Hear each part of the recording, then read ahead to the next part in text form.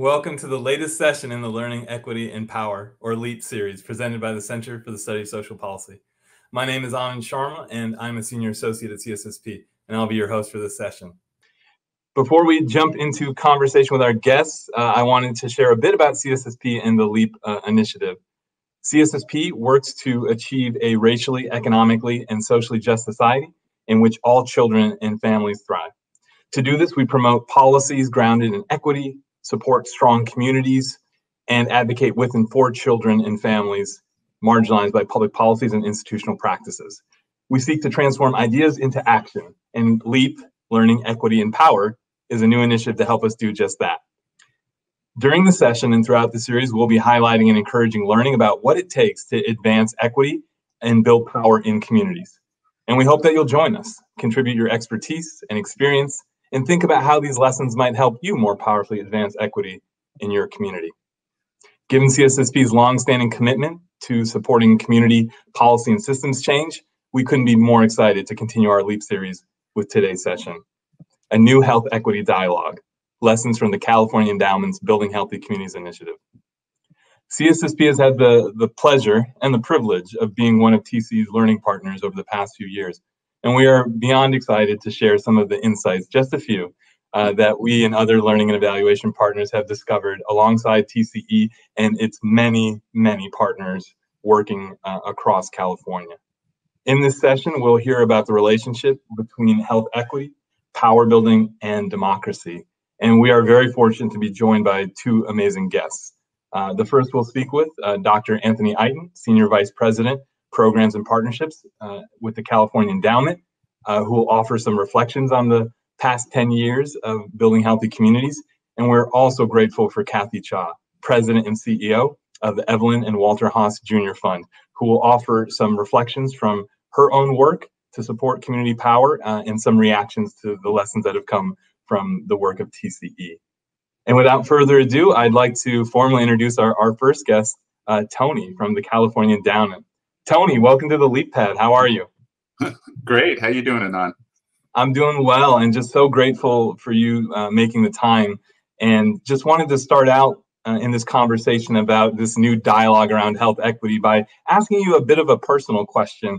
Um, how did you come to philanthropy? And can you share a little bit with folks about how that experience shaped how you and the California Endowment uh, are thinking about health equity? Yeah, you know, it turns out I actually tell this story not infrequently um, because I think it's the journey towards health equity is is in some ways it's a personal journey that becomes an institutional journey. I uh, you know I went to medical school some 30 years ago, um, and my intent when I was you know applying to medical school was to become a neurosurgeon. I had studied neuroscience and I was just fascinated with the brain. And, um, you know, I got to Baltimore, Maryland, which is where my medical school, Johns Hopkins, was located. And I was coming from Montreal, Canada.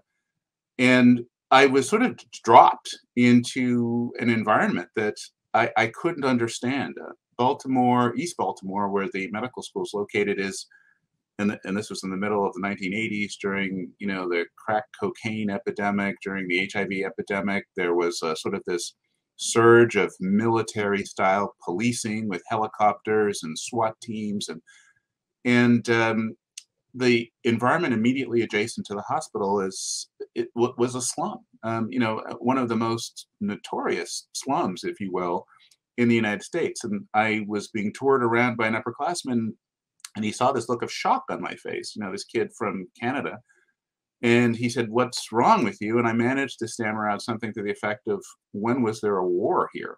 Um, I, I couldn't understand the conditions that I was seeing. And as I sort of started medical school, I, I would see patients from the community, and it, it struck me that we were being asked to do something that was, to my mind, absurd, which was to treat what were clearly social ills with pills and and I couldn't I couldn't quite grasp you know what my role was in that setting.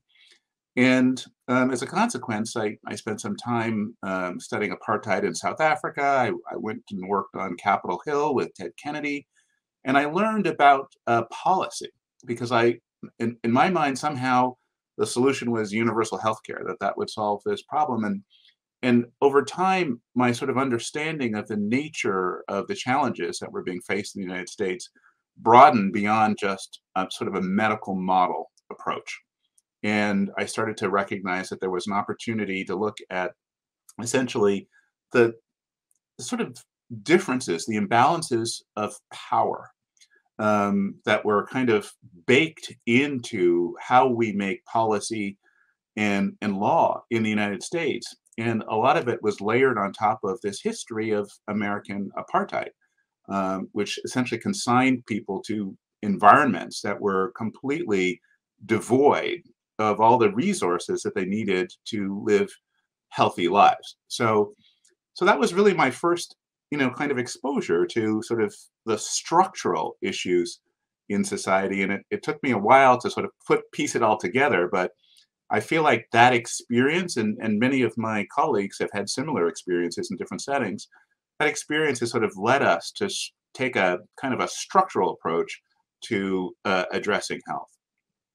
That, that's really helpful, Tony. Appreciate you sharing a little bit about your your own journey and, and early experiences as a uh, as a as a doctor, and wanted to ask you for folks that aren't familiar with uh, the work of building healthy communities that TCE has been engaged in over the past 10 years, could you give just a quick sketch of some of the core components and, and how that builds upon that kind of different way of thinking about the root causes and the issues that underlie um, the health disparities that, that you all are concerned with? Yeah, so, you know, I, I often describe the job that I have that, you know, I was offered 12 years ago and it, really was at a time when um, people were trying to grapple with these um, the the reality that when you look at health status across a place, across a county or across a community, um, and then you drill down into neighborhoods, you see these dramatic differences across neighborhoods. Some of them contiguous neighborhoods. You can see things like life expectancy differences of of 20, 25, 30 years across the same city. And trying to understand what drives those things um, is, was really kind of the question that public health was trying to unravel. And, you know, the, the paradigms that we had traditionally used were medical model paradigms. They talked about, you know, people's behavior, whether they smoke, they drink, they drive without a seatbelt, they have sex without condoms we talked about access to healthcare, which is really kind of a transactional sort of paradigm that, you know, the more services and the better drugs and the better doctors you had, you know, you would be healthier. And the third was sort of a genetic paradigm that it was some sort of weird lottery where people who had bad genes, you know, basically you had to throw medical services at them and and and, and those with good genes lived long, healthy lives. And we recognized none of that explained what we were seeing at the sort of the local level where you see these dramatic differences across neighborhoods of up to 30 years of life expectancy difference in the same city. And so we recognize that in order to try to undo some of this, we would have to sort of tackle the fundamentals, uh, which to our mind were imbalances in power, because those power imbalances explained the differences in health outcomes across these places. And so our sense was if we could build social, political, and economic power in a critical mass of people in these communities so that they could hold systems accountable for more equitable allocation of those health protective resources. And as we discovered in our work, they could help change the narrative about who they are, who we all are, and you know, uh, create a sense of belonging. Our our hypothesis was that we could actually, over time, create opportunity conditions that were much more conducive to better health status. So that's what we did with 14 communities. Um, my boss, Bob Ross, who you mentioned earlier, basically said, Tony, I'm just going to give you a blank sheet of paper and you know write up a plan for doing this. And it was the most exciting um, job offer I've ever gotten. The one caveat he said is that you can't spend a nickel on health and on healthcare. So this has to be a purely social determinants of health strategy. And so that's what we came up with.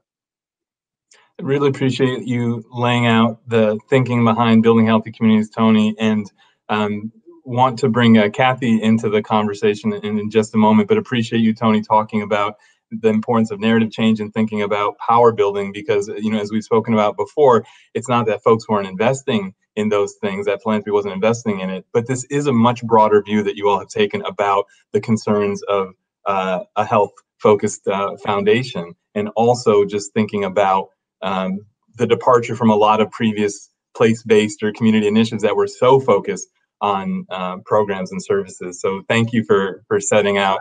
Um, I, I, should I should say, Anand, just quickly that uh, I think what we decided to do was not that radical, but it was very radical for health.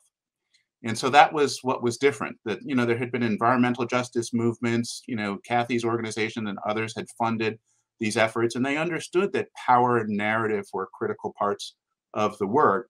But in health, it, it really been kind of a, a technocratic approach, which was about services and sort of optimizing sort of the medical model in low income communities or places that were experiencing disparities. And what we recognized was that this was really a democratic problem, not a technocratic problem. And so we needed to bring democratic strategies to enhancing health. And I think that that has been the, the sort of the, the big secret the, that has been unveiled which is that good democracy is good for your health. And uh, this was an unplanned plug for a recent essay that Tony actually just completed for, for CSSP, talking about thinking differently and moving from technocratic to, to democratic solutions. So appreciate that and providing a wonderful segue to our second guest, uh, Kathy Cha, the CEO, President and CEO of the Haas Junior Fund. Kathy, how are you doing? Good. Thank you so much for having me this morning, Anand. Oh, it is absolutely our pleasure. And uh, as we're talking about looking back on just some of the lessons and reflections of the work that the California Endowment has done, we were so excited that you were willing to join us because um, the, if folks don't know, the Haas Junior Fund has a strong interest and uh, engagement and investment in areas like immigrant rights and strengthening democracy. And I was wondering, for folks that may not know your uh, organization and its interests very well, could you share a little bit about some of the roles that you played in supporting um, community power and power building? Yeah, sure. First of all, um, Evelyn Walter Haas Jr. Fund, we are a family foundation. Stems from the Levi Strauss Company based here in San Francisco. And we've been around for nearly 70 years, and we've tried a lot of different approaches to lift up um, communities and families and improve the lives of individuals. And we work hard to advance equality and justice so every person has opportunities to thrive and live life with dignity and hope. And just like the California Endowment and what Tony was talking about, we try to tackle the fundamentals. And so we focus a lot on grassroots organizing, voting, power building in immigrant communities, LGBT communities, and we have two new areas that we've been going deep on, which is kind of the structural challenges of our democracy, which I think for all of us today, I don't need to tell you how important that is. And then also, we've been tackling college affordability. And um, the reason for that is too many Californians and people across the country who have the motivation and the desire to, to go to college, but if it's the money that's holding them back, something is wrong. And so we're wondering about activating that population um, to, to change the equation for affordability and success. So those are a couple of examples of work that we do.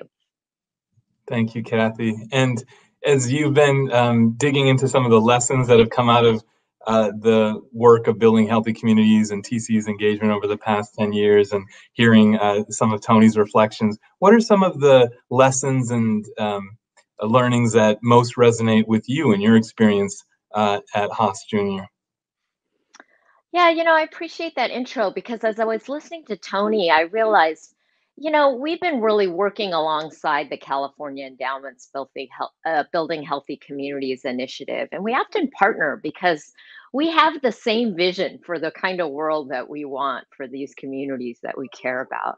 And so, in a lot of ways, we've been also trying different ways to improve the lives of low income Californians. And one of the things I wanted to share was, um, you know, we didn't come to power building first. It was after years of trying different things to improve um, the situation for low income Californians. And about 10 years ago, when I used to run the immigrant rights program here at Haas Junior, a community leader said something to me that has really stayed with me all these years. She said, quote, there's no shortage of good ideas. We lack the power to get them over the finish line. Meaning, we have so many well researched policy reforms out there, but they don't have the votes or the influence to make them real. And that's a lot like we're seeing in DC right now with the mega bills, right? No shortage of good ideas. We lack the power to get them over the finish line. So that has really stayed with me and influenced our work. And so for years, we have wanted immigrants to realize their full potential in this country and be part of the economic and social fabric of our communities. So we set off to build the strength of the California immigrant rights movement with community leaders with that phrase. You know, it's not the power, we don't have the power to get it over the finish line. In my head, we really worked in partnership with community leaders across the state and I want to tell you, we've always had some very strong immigrant rights nonprofits in California. So there's a great pool of partners to draw from. But there were gaps. You know, 10 years ago, we didn't have much advocacy strength beyond the Bay Area and LA. Uh, groups didn't have strong strategic communications and narrative building muscles. And civic engagement and getting out the vote was new to many of the groups. And back then, California's policy context was a lot more like Arizona, trying to shut out immigrants from public benefits, creating difficult lives for undocumented immigrants and their families. And so today, we can proudly say that California is the most pro immigrant and welcoming state in the country. And it's really been because of the strength of the immigrant rights movement here. And so we didn't ever start with that level of power or impact, right? So the origin story of the latest chapter of immigrant rights work in California is much more modest. And it says a lot about what funders can do. So, first of all, at Haas Junior, um, it was a disciplined and learned behavior to not lead with our own issues and our priorities, Mm-hmm. Um, instead, we looked for organic places where communities were coming together. And this meant we had to let go a bit and see what was bubbling up. And the first thing folks wanted to work on was nothing I could have ever guessed sitting in my office. What was riling them up was DUI checkpoints. So 10 years ago, DUI checkpoints were popping up all over the state but not in downtown areas with bars at night. Instead, these checkpoints were showing up on a Sunday morning in Latino, Latina communities an hour before Mass started all across the state. And it turns out these DUI checkpoints were a pretense for checking papers and immigration status. It did not have anything to do with driving with after drinking. And it was really the beginning of some very, very um, uh, difficult immigration and police collaboration that was leading to dragnets to try and um, deport more undocumented immigrants. So we began investing by working with a group of leaders to try to learn more about what was going on. And so, with a group of leaders, we shaped a research piece that UC Berkeley uh, Law School actually did, and brought these groups together to develop a survey and to conduct a survey to find out what was happening with these checkpoints. Then we supported strategic communications efforts. And the group started thinking about shaping a narrative that personalized this issue, help make the issue come home, and also let the injustice really shine through for what it was. And so they lifted up the real story of an immigrant family coming home from the hospital with their new baby. And what should have been a joyous time ended up um, tragic. So the family got pulled over at one of these DUI checkpoints. And the mother who had just had a C section, the dad, their newborn, and their toddler got their car impounded and were literally thrown out of their car and stuck on the side of a road. And so the advocates did a great job working together for the first time in that coordinated statewide way to get that story blasted out all throughout the state. And it worked. It hit a chord. It hit a chord with the general public and it hit a chord with lawmakers. And so the first policy win was not earth shattering. When you get pulled over for a DUI checkpoint and your car is getting impounded, you can now call your family or friend to come and get your car. That's it. Very simple. But how it was done was an incredible movement success. The win came directly up from community priorities. The diversity of immigrant communities work together. Northern, Southern, Inland, Coastal, in California work together, and they successfully shape the narratives on these checkpoints. And those are movement building metrics. And you know what? After getting a taste of this first victory, the group said, okay, what's next? What are we going to work on together next? They didn't go back to their corners and work independently. They wanted to take on the next successive challenge. And at that point, I knew we were on to something. So, fast forward, that's exactly what they did. And now the California immigrant rights movement is strong, has put the concept of separating police and immigration enforcement on the national stage, has ex- exported a bunch of very important policy reforms to separate public safety and police with immigration enforcement. And most importantly, the lives of immigrants in California have improved significantly. So today, over 100 pro immigrant laws have passed in our state house since that modest DUI win. And over $500 million has been invested in immigrant communities. And more importantly, California is showing the country that embracing your immigrant communities results in a happy ending. Our kids are playing soccer together, and our economy and communities are stronger. So it's important sometimes to recognize that you have to start small and build from there. And our, I think our experience illustrates one of the lessons from the BHC report beautifully, which was um, the lesson that says, look, measure the growth of power building capacity over time.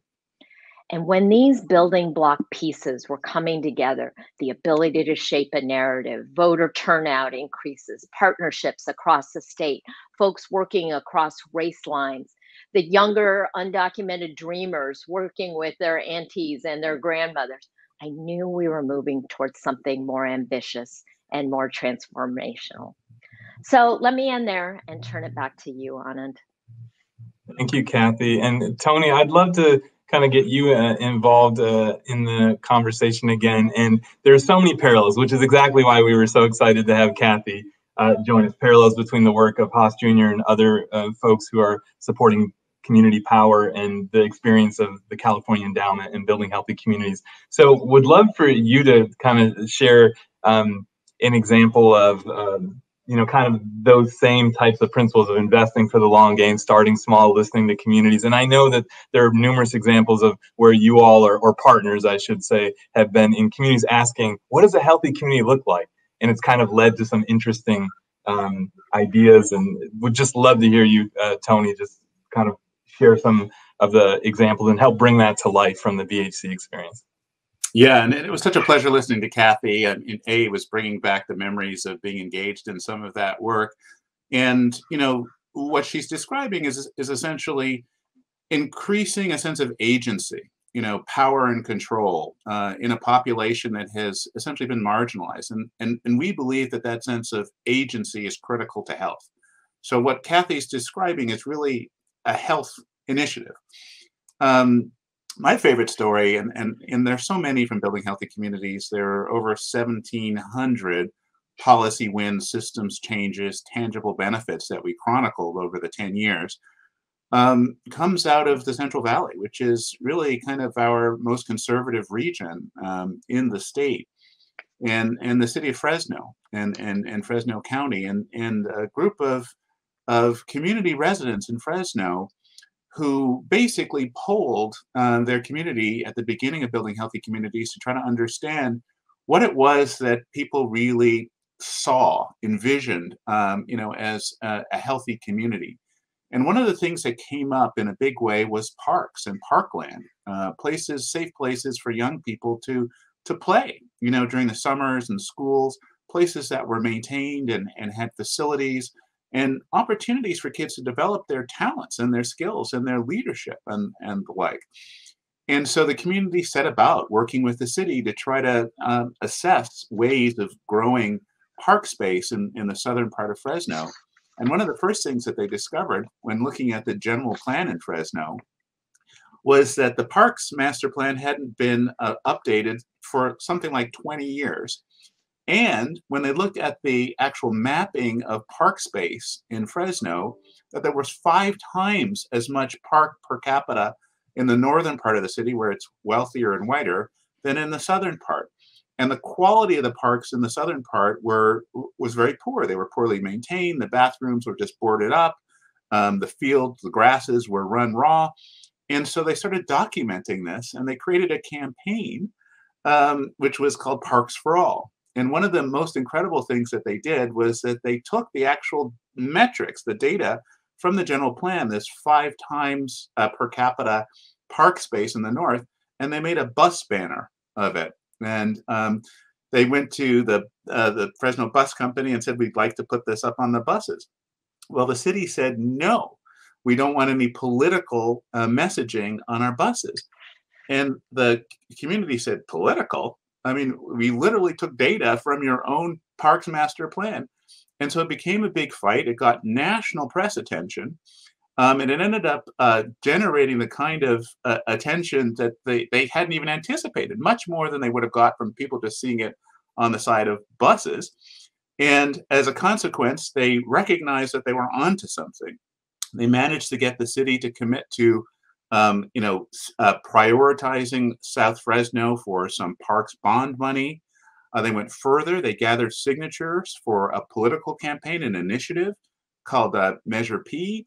Um, and they won 51% of Fresno voters voted for Measure P, which would provide for uh, some 20 years resources for parks and um, arts uh, in Fresno. The city challenged it, said that they needed a two thirds majority. So the, the Fresno Building Healthy Communities folks sued the city and won uh, in the Supreme Court.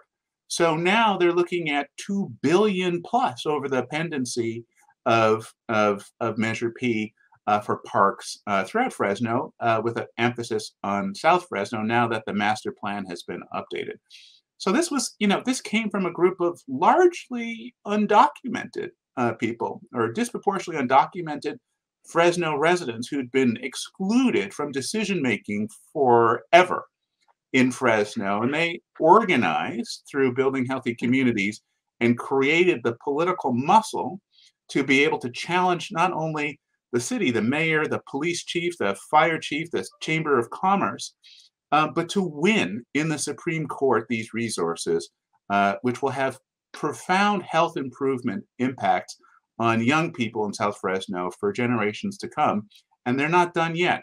Uh, you know, the city now consults with this group when making decisions about pursuing bonds and various other political decisions that the city is considering. So that that to me is just such a heartening story coming out of one of the most conservative parts of California um, as a result of the same fundamental strategy of recognizing that that health is political and you know building the political muscle of communities to hold systems accountable for equity is a health improvement strategy Thank you, Tony. And I want to give each of you, uh, Kathy and Tony, a chance to share um, kind of reflections on the role of philanthropy in supporting this work and um, what different roles that uh, foundations can play, and then any closing thoughts that that you want to offer. Uh, but before I do that, I just hope folks can understand if you came here because you thought it was interesting conversation on health equity. Uh, they're certainly focused on that. If you came here because you were interested in democratic inclusion, civic participation, hopefully you got a taste of that, but also saw why we brought together these topics uh, under this conversation of a new uh, health equity narrative that maybe on the face of it don't seem like they're connected.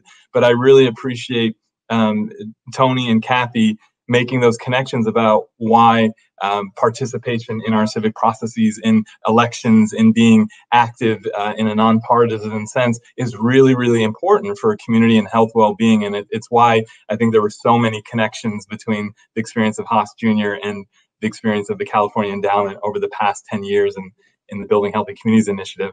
So before we close out, um, I'd love to have you, Kathy, first just share kind of reflections on what's the role, how can foundations um, best support and share power with with communities, uh, and then any other kind of closing uh, thoughts you want to offer before we end today.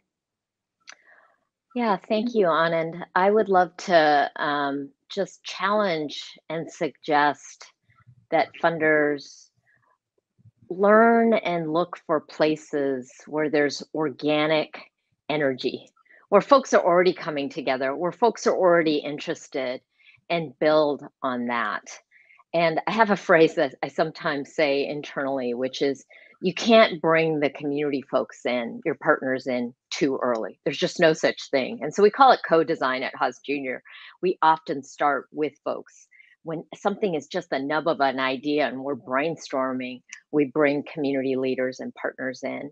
And I'll just end with a brief thought about um, an example of that.